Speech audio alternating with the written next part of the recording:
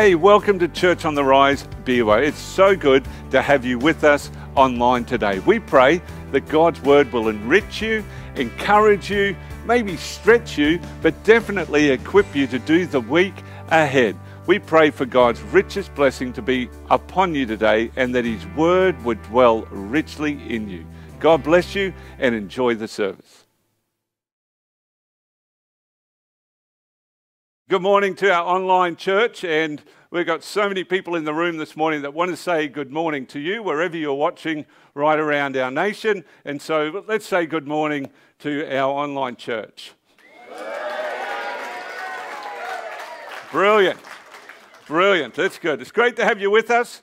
And so today, and if you want to uh, check out some of our online platforms on Facebook and Instagram, we've just watched a random act of Christmas kindness. So we're going to put that up. If you're online, then you can be a part of our initiative as well and jump on our Facebook page to check out exactly how you can rack someone this Christmas.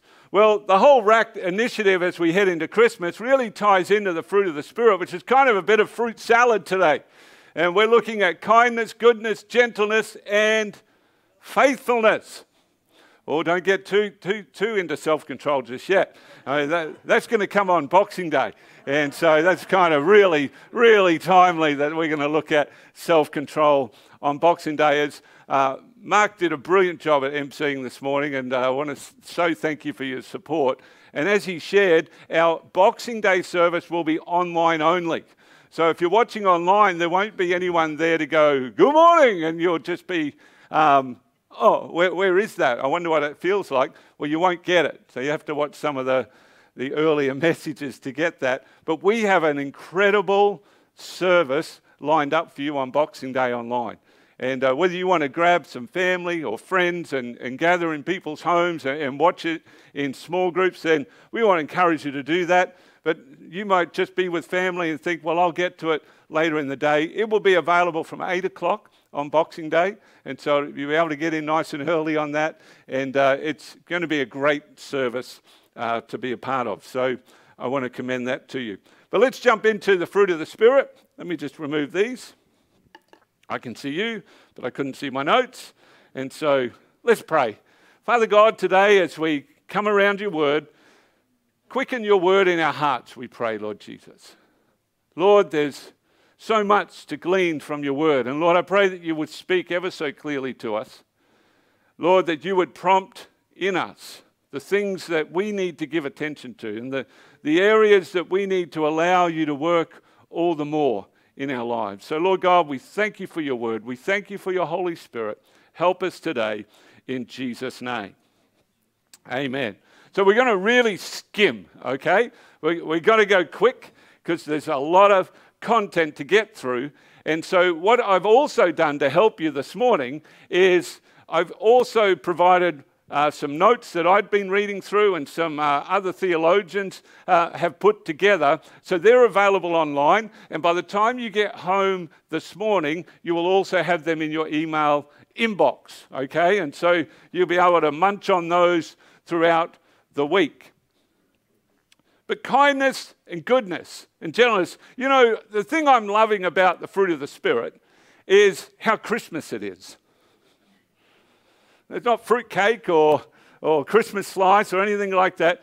It's, it's amazing to me that I've never realized this before, and I don't know if you've realized this before, and if you have, or you're a step ahead of me, uh, how much the fruit of the Spirit, which are the attributes and nature of God, are activated at Christmas. It's all who Christ is, it's who God is. And it's the Holy Spirit who Jesus left us with.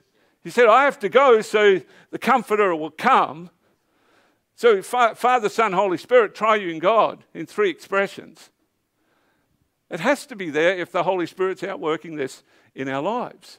And so, you know, peace, goodwill toward men, fruit of the Spirit.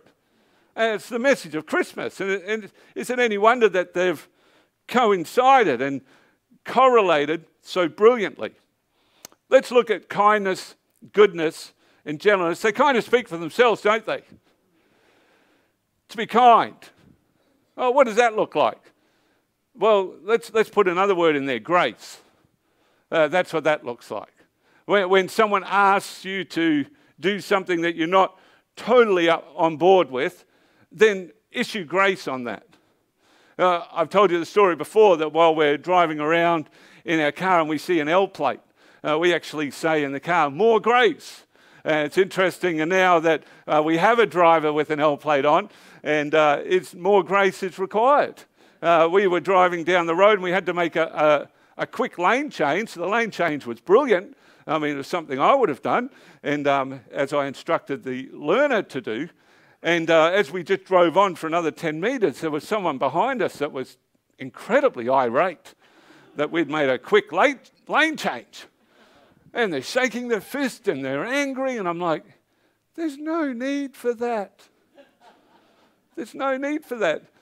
And it's amazing how angry people get. But if you get pushed into that corner, make sure you come out with kindness and grace. Where When people push your buttons. Oh, I saw a great meme the other day. It said, Sorry, I was pushing all your buttons. I was looking for mute. I thought, yeah, that's really cool. And so, when it comes to kindness, allow kindness to flow from you by an act of grace. What is um, put on you sometimes isn't kind. And, and when I look at the life of Christ, what was done towards him wasn't kind. But he enacted grace. And what was that? To go above and beyond, to keep on mission. Uh, don't allow uh, persecution and disappointments and people treating you harshly to take you off course because it will. You know, the number of times that, that people will throw your generosity back in your face and there's a temptation to go, well, I'll never be that kind again if that's how it's treated or reciprocated. And you can't go there. You've just got to keep fronting up, dusting it off, and going, I'm going to be kind again because it will have a different result. And maybe this time it'll be the one that gets in. Maybe this time will be the, the, the point where it cracks. You know, the, the old story of hardworking men, and they were chipping away at a big rock. And they were saying, which, which hit actually demolishes the rock, like breaks it down? Is it the first one because you're full of energy and it's whack, whack, whack? Is it the last one because you're like, I just can't do it anymore? This is the last hit. It's all of them. It's all of them just compounding, compounding, compounding. So don't ever let poor treatment of you stifle the fruit of the Spirit that's activated in your life, especially around kindness, goodness, gentleness. They won't always be favorably reciprocated. Some people just don't know how to receive generosity, and that's okay. So we have to teach them. Some people think the only reason you're doing something nice for them is because you want something in return. I don't know who said it, but it's a famous quote that says that the best way to, to be a blessing is to do something for someone who has no ability to pay it back. And I just think, you know, as we're activating these things, and there's a whole article that's waiting for you in your email uh, when you get home, and if you're online, it will be there a little bit later. All about kindness and goodness. They, they call them the, the fruit twins. In a lot of commentaries I read, they call these two the fruit twins. The characteristics stem from love. It's amazing, isn't it? Someone said this, said it this way Patience is suffering love, kindness is compassionate love, and goodness is ministering love. They all work together. Goodness then speaks of service or ministry to one another, a spirit of generosity put into action, a serving and giving. It's the natural result of kindness, the inequality of tenderness, compassion, and sweetness. And all of this is summed up in the word love. In Psalm chapter 15, in the first five verses, we read how this is enacted out. To live in righteousness, whose walk is blameless, and who does what is righteous, who speaks truth from his heart, and has no slander on his tongue. To be kind is who does his neighbor no wrong, casts no slur on his fellow man, who despises a vile man but honors those who fear the Lord, who keeps his oath even when it hurts, who lends his money without keeping dockets of it, and does not accept a bribe against the innocent. Kindness is a disposition or a willingness to do that which is right or good. Goodness goes a step further than kindness. William Barclay, a theologian, defines it as virtue equipped at every point. I like that. Goodness is virtue equipped at every point. We just want to do good. We know good works.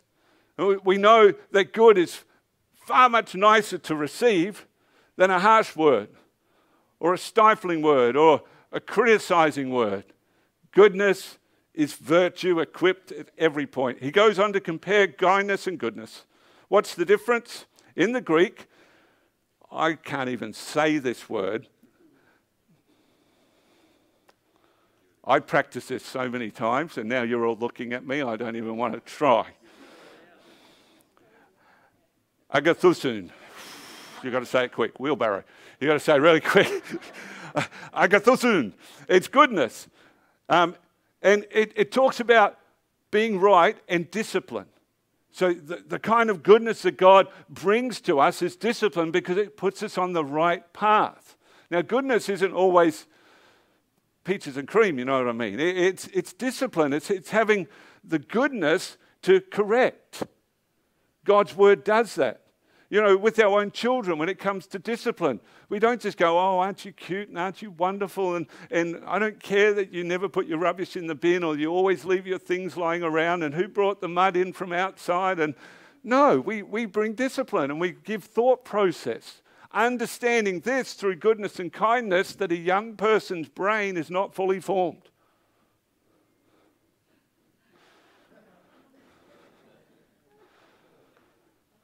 It's a challenge for me. Because there's times where I bring discipline as though their little hearts and minds are already fully formed. Now, I don't know what it is with girls, but I know what it is with boys. You've got to the age of 24, 24 before this thing is fully sorted out. So even when they're 18, you think, well, they'll never do anything stupid again. Wrong. grace, grace, and more grace, kindness and goodness discipline by putting them on the right path, not, I told you so. I am so thankful that God never, understanding that we are still in development of dealing with the flesh and our spirit, never anywhere can I find a verse where God says, Told you so. Full of loving kindness. He what? Makes room for us to come in and be gentle with us. He's right. And sometimes discipline feels harsh in the moment because we want to self justify. But when I realize when I come to Christ, I can't self justify because justification is in Christ alone. He justifies me. I can never take a right position against God because my right position is in God. I abide in Him. And so I don't have to justify myself because He justifies me. And sanctification is the process of becoming more and more and more like Christ. It doesn't happen because I want it to. It doesn't happen because I'm filled with good intention. Today I'm going to make a difference in the world. I'm going to be like Jesus. Yeah, we'll front up tomorrow with the same attitude. And the next day and the next day and never come home with that attitude going, I failed.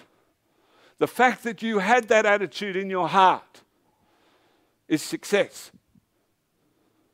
Because you're mindful of Christ, being aware of his presence, indwelling, and where he's leading you to be. So there's so many notes on kindness and goodness that are waiting for you. I want to jump into faithfulness. There's just something out of these four attributes that I really felt God was pressing in on me today, and, and that's the attribute of the fruit of faithfulness. I want everyone to say, The Lord is good and does good. For an extra bonus point, does anyone know where that's found in the Bible? It's a sneaky little verse in the book of Nahum, Nahum. The Lord is good and does good. And it goes on to say, is a stronghold in the day of trouble. If you want to re- remember a Bible verse, remember that one. The Lord is good, the Lord does good, and He is a stronghold in the day of trouble. One of the great misnomers around faithfulness is that we sometimes in our humanity think that there's a reward for our faithfulness. And yet, being faithful is actually the reward itself. I want to say that again, especially in our marriages. Some, sometimes you'll think that faithfulness is something to be rewarded in your marriage. And yet, the reward you're looking for is actually faithfulness itself. In your workplace, you're faithful, you're a good worker. Of course you are. As you're flowing and functioning in the fruit of the Spirit, of course you are. You'd be the, you'd be the boss's apple of his eye. You would be his favored employee because you know how to serve him. You know how to honor management up the line, even when they're wrong. You know how to do that because you're flowing out of the fruit of the Spirit. It's not about what I think, it's about who I am. I know I'm challenging you now. I'm challenging me. But faithfulness is the reward. I don't, I don't, need anything to say, oh, well, you, you were faithful. Here we go. Have the trophy of faithfulness. No, there's no reward for flowing out of the fruit of the Spirit apart from having the fruit of the Spirit activated in your life. Therefore, Everyone say, therefore. If that's true, then this is also true. Just because bad things happen to you, it doesn't mean you've been faithless. Because He is faithful. Now, this is a challenge because we love to bring faithful and faithfulness into our realm. Oh, God, I'm saved, so therefore everything will work out good for me. Jesus even said it. It's one of my favorite quotes of Jesus. In this life, you will have trouble. I don't want trouble. Do you want trouble? I don't want trouble. And I'll do my best to avoid it. But sometimes trouble finds me. Sometimes trouble finds you. And it doesn't mean that God has been faithless. The Word of God actually says that we can be faithless, but He can't be because God is faithful even to Himself. Now, it's a challenge that when we go through the peaks and troughs of life, that we're not only faithful when it's all working out. Faithful literally means this in every season, I have a reason to sing because my faithfulness, remember, like all the other facets of the fruit, are not dependent upon, upon my external circumstances. So when things bad happen, do I say he no longer loves me? No, he loves me. And he paid for my life with a powerful price, like Mike so brilliantly shared around communion this morning. I think it was Paul who wrote in Corinthians, we are pushed on every side, we're crushed. But does he mean he no longer loves us if we're fighting peril and sword and calamity? No, he loves us all the more. You just jumped down there, thank you. He loves us. Nothing can take away his love. We're more than conquerors. Everyone say, more than conquerors. You're not a, just not a conqueror, you are more than a conqueror. Don't put a full stop there. Through Christ Jesus. Our salvation is internal fortitude, strength, and resilience. And it can change our external circumstance by how we approach it and walk in it. But if bad things happen, and they will and they do, and I don't want them to. But I need them to, to develop my trust and my hanging on to God. Have, have you noticed that your grip gets loose when everything goes really well? Oh God, I'll just let a little bit more string out of my balloon. Oh, look, it's going so well. Oh, so wonderful. What, what, oh, oh, oh. Quick, grab it. Bring it back in close. We hold on to God through pain and we hold on to God through trouble and strife. And He rescues us.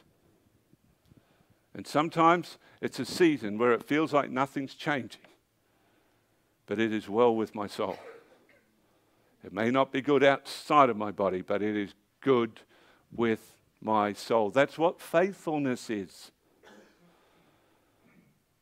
And we should be constantly asking God for every facet of the fruit. And we looked at when we looked at patience, we said the, we, we just don't ask because we know what we're going to get. No, we have to ask for patience. Because if we don't ask for patience and we're saying, Lord, I don't need the fruit of your spirit operating in my life, if I don't ask for long suffering, if I don't ask for gentleness, if I don't ask for kindness, if I don't ask for love, if I don't ask for peace, then I'm saying, God, I don't need your Holy Spirit operating in my life, and we need it all. But faithful speaks about going above and beyond. And it's not determined about what's happening to us, it's about how we determine what we're happening to. Remember, we preached a series a little while ago Hey, trouble, you're in trouble. Why? Because we don't want trouble happening to us. We want to be happening to trouble. I want to be able to happen to trouble. I want to be full of the Holy Spirit so when trouble comes my way, I'm so, so glad to meet you. I've got something for you some fruit, the sweetness of God from holding on. It's not easy. Someone could say, Pastor Aaron, you make it sound so easy. It's not easy. It's incredibly difficult. I remember going to a, primary school fetes when this was kosher, and we used to have to catch a greasy pig. Uh, it's not kosher anymore. And I want it said clearly online that we have not done that for 100 years. and I'm only 50 of those. Uh, not kosher, but gee, it was fun, but all you wanted to do was catch the pig. And every time you thought you had him, slippery little sucker, away you go. It's hard sometimes to be faithful because our humanity wants faithfulness to look like that our external factors are all in a line and all working out. And in fact, if your external factors are upside down, inside out, and all over the shop, that's the best time to show faithfulness on show.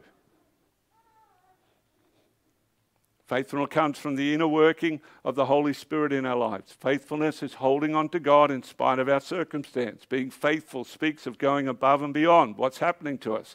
In other words, I don't only show up when I'm happy. Have you ever said those words? Oh, I don't know if I could go to church today. Just, just don't have the feels. No, well, faithfulness says you should. If you're well and able, faithfulness says you should. It's only two times you need to come to church. Only two. In the whole course of the year, 52 times uh, a, a, year should you be in church, but there's only really two times you need to come to church. The first one is when you feel like it. because there's people that you can bless by being in the house. Second time is when you don't feel like it. only two times because there's people that can bless you when you least feel like coming to church. Sometimes we think coming to church is all, all about God. We don't do it for God, we do it for us. And what we do when we get here is all about Him, but we needed this. And it's amazing what you'll find happens when you have a cup of coffee later. You'll be ministered to, and it's wonderful. So, what is faithful? That I don't only, what's it look like? I don't only show up when I'm happy. That I only serve when I have the feels. No. That I respond well when I'm corrected. That I honor leadership when I don't get what I want. Faithfulness comes from a place of conviction. It's a choice. As for me and my house, I have decided to serve the Lord. That's a conviction. And so it Doesn't matter whether everything's well in my household, when everything's challenged in my household. As for me and my house, what have you decided in your house? What are the convictions? Faithfulness comes from a place of conviction. In every season, I have a reason to sing. Though the fig tree doesn't blossom, there be no fruit on the vine, no herd in the stall, yet will I rejoice in the Lord. I'm not thanking him that the vine's empty. I'm not thanking him that there's barrenness in the stall. I'm not allowing my external factors to dictate to me whether I'm going to be faithful or not. When I choose to be faithful, I determine that I will be ready for whatever comes my way. I'm not ambushed. I may not have expected it. I may be shocked. I may be disappointed but I'm going to choose to be faithful. For me, one of the ways that I test faithfulness in my own life is around the tithe because it's a conviction. So my tithe is related to my income. Your tithe, biblically speaking, is related to your income. Take a tenth of your income, whatever it was that week. And so, is it a stretch? Yes. Are there moments where I've actually sat down and thought, that tithe would be better off in my bank account this week than in God's storehouse. Have I ever thought? Of course I have. There's moments where I have to step over the line and go, I'm stepping over in faith. What does tithe do? It proves my faithfulness to need God. That's, that's what it does for me. This is why I give, because it proves my faithfulness to need God. God, I need you to, right now. And I stop there. It's not, Lord, I need you to come through for me right now. He's already come through for me. That sounded a little bit like a comic strip voice. He's already come through for me. well, I'm just chasing you, diggity dog. He's already come through for me. And I hope he's already come through for you. I'm getting a little bit Wild West right now. But faithfulness it shows up most in the things that require more than words. And my giving, when I bring it into the storehouse, requires more from, than words. Faithfulness requires more than good intention. Oh, I wanted to be faithful. Oh, I was going to be faithful. That's just good intention. Faithful is, I'm going to be faithful. I don't only tithe when things are going well. I don't only tithe when I have excess. It's a conviction. Faithfulness is a conviction. I give because God is faithful. I give in faith. When I bring my offering into the storehouse, I actually give in faith. I'm saying, Lord, I'm acknowledging everything that the week was. From what you've poured into my life, I'm saying thank you. And I can't change what's been But I can step into tomorrow with faith by saying, God, this offering isn't only for yesterday, it's for tomorrow. And I'm going to step forward and walk in faith as a conviction. And I want to say to you people, thank you for your faithfulness to God's house. See, every week as a church, as we manage the church finances, we give in faith. There are so many things that are, are going on from a budget viewpoint. We have faith goals each week as a church. Money comes in for our mission support. We've got people that right across the globe that we give into as a church and support the missions, the, the ongoing work of Christ at work, gospel going out to the nations of the world. You're a part of that. But we have a faith statement, and so we need a certain amount of dollars to come in every week so we can keep our commitment. It's faith. To meet our commitments to the community, it takes faith to do that. The faithfulness of God coming through this house to be a blessing to our local community. We need faith to believe for our building, for our mortgage will be covered each week. We need faith to believe that I can pay my staff wages this week. It's a faith ministry. And as we go into Christmas, we need to maintain our faithfulness to God's house. This is probably one of the toughest periods in terms of our church budgeting because we know what happens at Christmas holidays, presents, things are tight, money gets, if it's not a conviction, money will jump ship. Oh, that's my tithe. Hang on a minute, I need that. If it's a conviction, I don't need that. God needs that.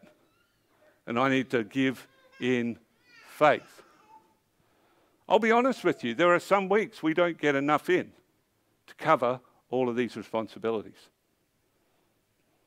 But it's faith, and we're going to keep trusting in God. We're going to keep giving our best. And some, sometimes you might feel like it's a hard sell up here. But there are things to keep those doors open, quite literally. And in the last few weeks, we've had to have those doors repaired, replace air conditioning in the youth and children's room, replace air conditioning in the foyer. And if you're wondering why it's warm in there, it just hasn't happened yet because there's not enough beans to put in the bean counter. And so some of it's workmanship, some of it's labour, some of it's parts, some of it we've bought an old building. And some of it, we, we pray, man, when we call a trading it, it's like, oh Lord, not this time. Can it last just a little bit longer? And he'll say words like, if it's this part, you'll be okay. If it's this part, you're going to need a whole new door. And that's thousands. And we're like, Lord, can it just be this part? well, some of those parts aren't working anymore. And so we're still trying to ascertain what the problem is in there. So I'm not saying that to make you feel sad and sorry. I'm just saying uh, collectively, faithfulness is a conviction. And this, what we do here, is a faith ministry and requires faithfulness to God's house. That it's not conditional on my external circumstances. It's a commitment according to God's word and what I've decided as for me and my house. But let's, let's move apart from giving. It's not just in our giving, it's in our attendance.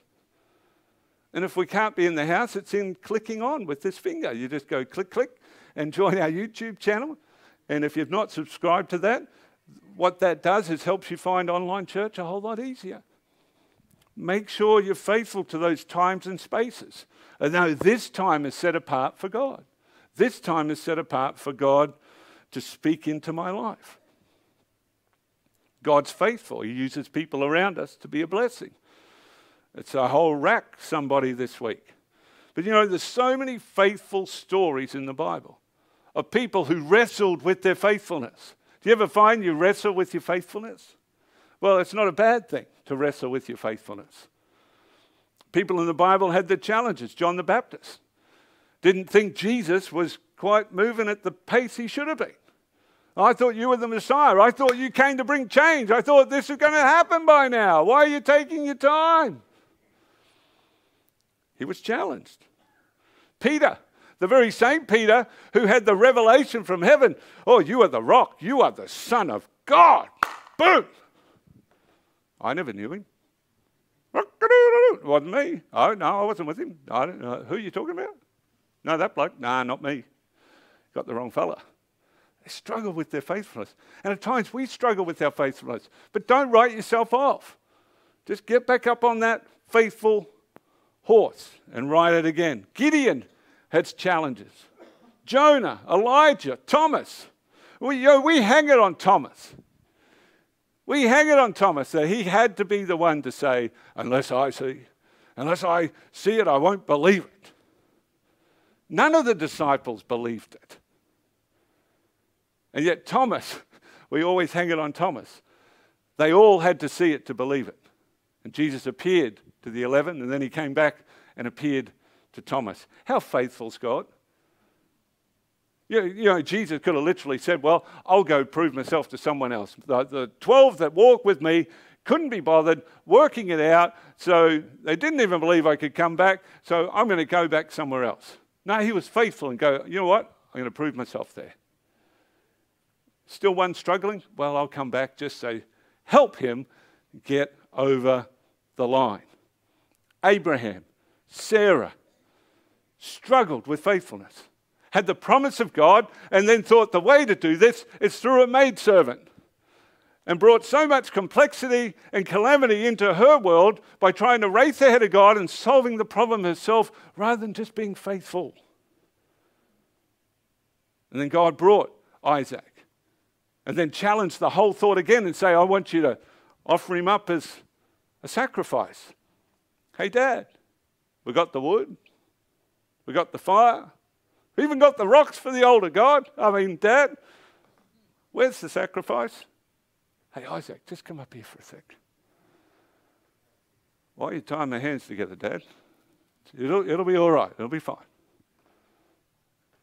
Hey, Dad, why are you putting me on the thing? Isn't that a ram in the thicket over there? Whew. What, what does that show? That as we're faithful, He is faithful. And He didn't have to sacrifice His Son. But as He is faithful, we're faithful. As we're faithful, He is faithful. And the supreme, Jesus Himself, struggled with faithfulness to the point of the cross. Faithful doesn't mean everything will work out the way I want it to, which gives me even more reason to hold on to God. Remember, God is faithful. When we wander, when we drop the ball, when we get disappointed, when we give in to sin, God is faithful. Psalm 33, verse 4 says, For the word of the Lord is upright, and all his work is done in what? Faithfulness. How good's that? Psalm 91, 4, his faithfulness is a shield and a buckler. Not a butler, a buckler. Isaiah 25, 1. O Lord, you are my God. I will exalt you. I will praise your name, for you have done wonderful things, plans formed of old, faithful and sure. Do you know that's the key to that verse?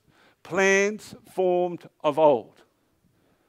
That's the whole key to that verse. Do you know what that actually means? God is faithful. Because uh, through the humanity and, and life experience, because we've all been made with a free will, and people were wrestling with their God call and living on planet Earth, Isaiah is saying here, you stayed true to the original plan. You didn't depart from it. We did. And we came back to you as faithful. But thank you, Lord, because you stuck to the plan. And I want to commend you in that. Understand that God keeps to the plan faithful and sure. Lamentations 3 because the Lord's great love, we are not consumed. Isn't that great? For his compassions never fail. They are new every morning. Great is your what? Faithfulness.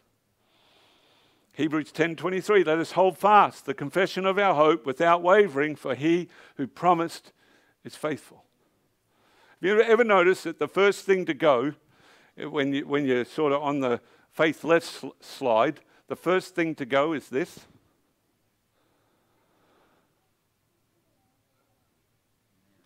But it's actually this. Because out of the heart flows the issues of life. And so, whenever you catch yourself, did that sound faithful, what I just said? Did that make God sound faithful with what I just said? Check your heart. God, I don't know where that came from. Renew a right spirit in me.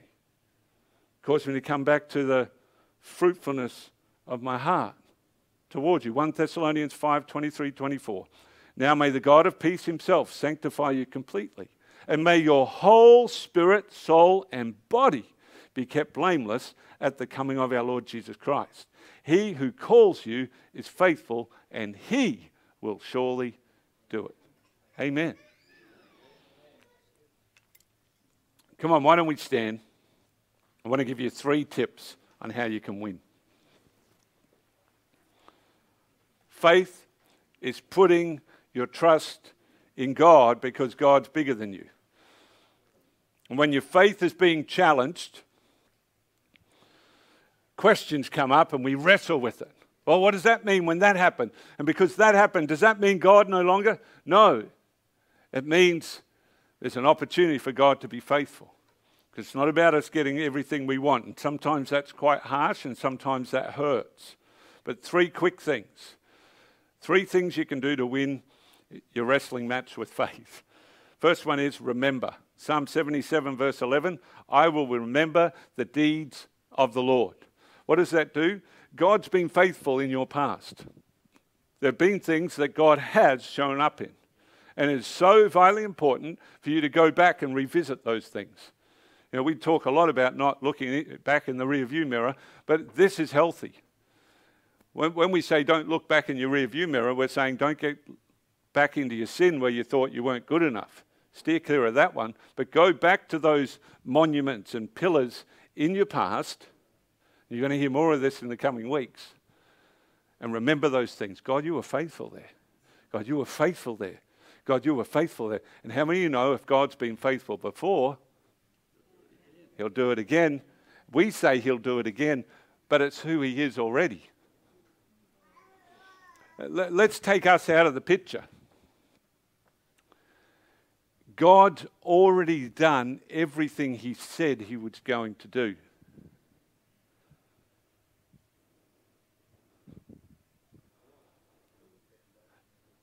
So, in the process of time, we're not waiting for him really to do any more than he said he's already going to do. The only thing we're waiting for is the timing of the Lord's return. And we need to make sure we're ready for that. Not sitting back going, well, is it happening? When's it happening? It's happening. And, and the truth of that is, it's said that Jesus will come like a thief in the night. And we go, oh, well, we, we'll never know. Read the next two verses. He won't come like a thief in the night to those who are in Christ. Okay, that's sidetrack. Um, how do you win? Remember the deeds of the Lord. Remember them. What, what, what are the good things you've done, Lord? Remind yourself of God's promises, prayers He's answered in your life, and have those personal history moments as points that you can draw from. Secondly, remain. So remember, remain. Like a child reaches for a parent when they're scared, we can choose to reach for God through prayer and worship, reminding ourselves He's bigger than our opponent. Listen to what it says in John 15, verse 5. I am the vine, you are the branches. If you remain in me and I in you, you will bear much fruit. Apart from me, you can do nothing. So we need to remember, we need to remain. Can I just encourage you around the fruit? Because we've only got one more left after this we use, and you shall know them by their fruit, as a success quotient based on performance. I can't see that in Scripture. what's actually being said there is you will know them by their fruit, not their effectiveness, their success, their work ethic, or anything like that. You will know them by their fruit about how they abide in Christ. Sometimes you'd be around Christians and you hear how they speak, and you and just to yourself, not judgy, judgy, but you're just going, maybe they haven't spent much time with God lately. Because I'm surprised they said that, or I'm surprised they acted that way. But don't use it as a point, use it as a mirror and say, God, how am I doing? So we've got to remember, we've got to remain, and we've got to reach. Sometimes we need to ask for prayer or seek the counsel of a friend or a pastor. And we've got our prayer team that are happy to stand here with you at the close of today's service and have some of those needs ministered to. Where the body of Christ, building up each other, is what we're called to do. Come on, let's just hold our hands out. Father God, we want to be a church that you are happy with and pleased with. Lord, we want to delight ourselves in your ways, your plans, and your purpose. And Lord, we need your Holy Spirit activated in our lives. Lord, we need these fruit. Lord, and I pray that it would be our goal that when we hear that phrase, and you shall know them by their fruit, that we would be known by the fruit of the Spirit that's activated in our lives. Help us to always show kindness, goodness, gentleness, and faithfulness, Lord God. When we struggle with it, Holy Spirit, help us. When we feel less than, strengthen us, Holy Spirit, according to the Word of God. Lord, that we would be truly known as people who are faithful, not just filled with good intention, but Lord, with good follow through. In Jesus' name. And everyone said, Amen. Amen. Amen. We want to thank you today for being with us throughout our online service, and we hope you've gleaned something from the Word of God that will help you move forward in this week. Well, here at Church on the Rise, we are committed to helping you discover Jesus in all his fullness. And if today, through anything you've heard, you're wanting to respond to Christ by giving him the lordship of your life, then why don't you contact us through our email address, wecare at cotr.org.au. We'd love to connect with you. We'd love to be able to put you on the right pathway to enhance your spiritual relationship with God through Jesus Christ. Well, we want to encourage you this week to do all you can to stay connected to Jesus, read your Bible, make sure you're taking some time out to pray, and we look forward to seeing you either online or in the building next Sunday. Let me pray a blessing over you before you go. May the Lord bless you and keep you. May he cause his face to be towards you, his countenance upon you. May the Lord be gracious to you and grant you his peace, both now and forevermore. Amen. Like I said, if there's anything that you want to know about our church or find new ways to connect with our church family, then please drop us a line at wecare at cotr.org.au. God bless you.